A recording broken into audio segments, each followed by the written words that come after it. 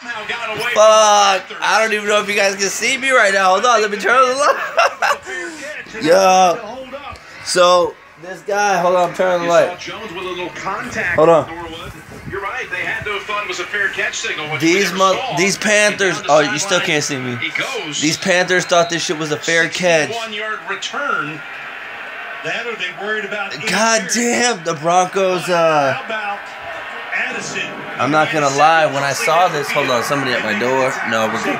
Sets up the Broncos. Damn. 14. Manning in the pocket All right, so uh, to Anderson, and again Kuechly is on. it. I honestly thought it was a fair catch. The Panthers kicked it off. punt Return in Super Bowl history. Longest punt return in Super Bowl history. This guy just said. there's Never been a Um, punt return for a touchdown. So he punted this shit off. Let me look at this real quick. He didn't get one here either. Everybody thought it was uh. The longest one This guy, this guy caught the fucking ball within. He had he had two or three defenders around him as soon as he caught the ball, but all of the all of the defenders thought he called a fair catch, And he goes, one and he yard just snagged the shit and started booking it. He ran 60 fucking yards. That was crazy. That was crazy.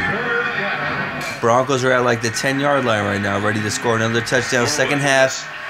Out of football entirely in Super Bowl record, all of last Jay. Norwood. I, I don't know the guy. His name's Jay Norwood. Blew out his knee in the preseason. Sets Caught the ball with like three defenders around him, not giving a fuck, making a play in the Super Bowl. That's what it's about. Garrett Kubiak running down the field. We a Damn. timeout here.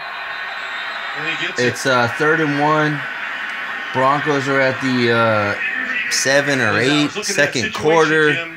This shit's crazy. maybe the Denver Broncos It's 10 to football if 7. They didn't make it and give a fourth down try. We'll see what the fuck happens. They just called a timeout, but that was fucking nuts. Damn.